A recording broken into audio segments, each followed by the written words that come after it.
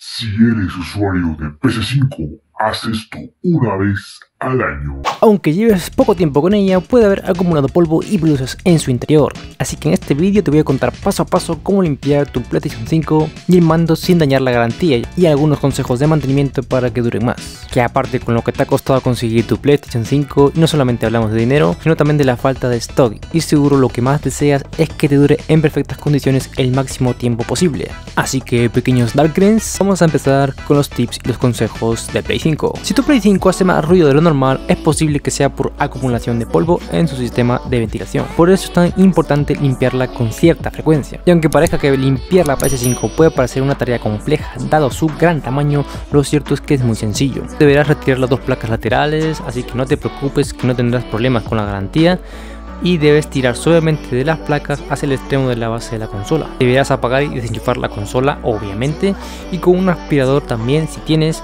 retirar el polvo y las pelusas de la rejilla y los rincones. Puedes utilizar un cepillo de dientes para limpiar las zonas de difícil acceso. Y bien chicos, una vez hayamos limpiado un poquito ese polvito dentro de nuestra consola PlayStation 5, pues ahora vamos a pasar con unos tips de limpieza para DualSense. Podemos utilizar también un paño de microfibra o podemos usar un algodón antiséptico para limpiar pues la carcasa que a veces se llena mucho de polvo y se va acumulando con el paso del tiempo. Incluso si lo miras con una lupa en las micropartículas puedes ver que se acumula mucho polvo. Puedes utilizar también cepillos de dientes para limpiar las zonas más difíciles como la cruceta, la botonera y los joysticks. De esta forma también te ahorras el problema del fastidioso drift. Incluso también puedes utilizar un palillo de dientes en las partes que el cepillo no llegue, eso sí, cuidado de no rayar el mando. Y para los relieves de la carcasa también puedes utilizar pues un palillo de dientes o también un bastoncillo de oídos o un hisopo mojado en alcohol isopropílico.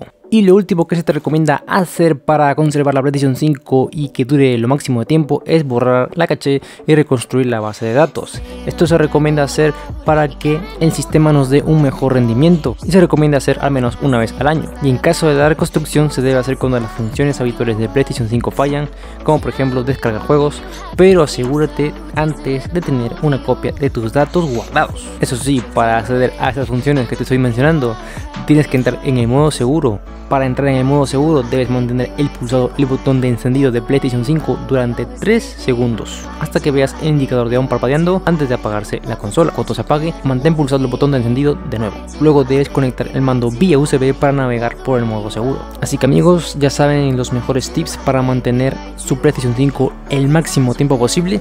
Espero que lo hagan al menos una vez al año, no me sean carajitos. Y bueno, espero que les haya servido todos estos trucos, todos estos tips que les estoy mencionando en este video. Si es así, deja tu botón de like para seguir haciendo vídeos como este. Para más vídeos de PlayStation y más tutoriales, suscríbete al canal gratis, activa la campanita para que no te pierdas ningún video. Un guetazo en la cara de Leopoldo. Nos vemos en los próximos vídeos. Chao, chao.